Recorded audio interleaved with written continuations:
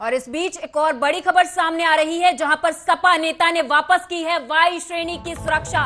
विधायक का गनर भी लौटा दिया है। बता दें, सपा नेता आज़म खान ने अपनी सुरक्षा में तैनात पुलिस कर्मियों को दिल्ली से वापस भेज दिया है। उन्हें वायु श्रेणी की सुरक्षा दी गई थी। उनकी सुरक्षा में तीन गनर तैनात किए गए थे।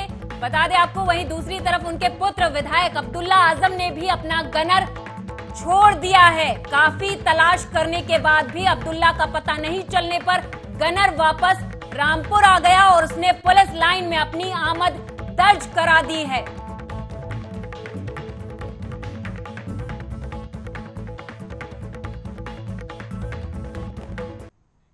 आगरा से अगली खबर है, जहाँ आपको बता दें कि आगरा में ताज नगरी आगरा में आज अंत्योदय और एकात्म मानववाद के प्रणेता और जनसंघ के संस्थापक पंडित दीनदयाल उपाध्याय की 107वीं जन्म जयंती पर वार्ड नंबर 36 के पार्षद पति मनोज शर्मा सहित भाजपाइयों ने पंडित दीनदयाल उपाध्याय के चित्र पर पुष्पांजलि अर्पित कर उनके व्यक्तित्व पर विचार रखे। वहीं मनोज शर्मा ने कहा कि पंडित दीनदयाल उपाध्याय भारतीय दर्शन के महान विचारक और प्रचारक थे। उनके विचारों का केंद्र मानव था। वे कहते थे कि यदि जंजीर की ताकत बढ़ानी है तो उसकी सबसे कमज़ोर कड़ी को मज़बूत करें।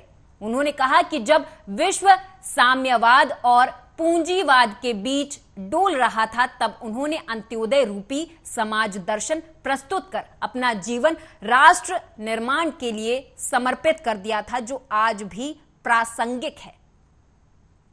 हम सभी लोग इकट्ठे हुए हैं। दीनदयाल उपाध्याय जी की जयंती के अवसर पर यहाँ सभी ने बड़ी धूमधाम पूर्वक आज दीनदयाल उपाध्याय जी की जयंती को मनाया है।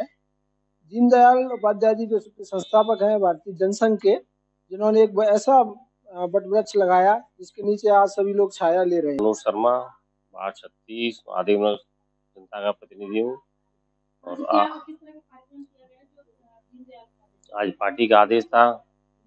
पंडित दीनदयाल उपाध्याय जी की एक सौ सातवीं जयंती के उपलक्ष्य में आज हम सब लोग एकत्रित हुए हैं और बाढ़ छत्तीस के अंदर हमारे सभी कार्यकर्ताओं ने कार्यक्रम किया है और माल्यार्पण किया है और उनके बताए हुए मार्ग मार्गदर्शन पर चलेंगे हम। उनका हमने सभी जनता को उपदेश दिया उन्होंने जो आज हम जिस वट वृक्ष के नीचे जो पले बढ़े हुए हैं उसकी स्थापना पंडित दीनदयाल उपाध्याय जी ने की थी और उनके जन्म को करीब एक एक सौ सातवीं जयंती बना रहे हैं।